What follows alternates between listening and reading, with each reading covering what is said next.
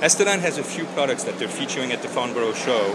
One of our flagship products is our Hawk um, Harm's Way controller product. Um, and over the past two days, we've had a lot of interest from uh, all of our defense traditional customers, but also in all of the adjacent uh, um, um markets that we're uh, currently evaluating.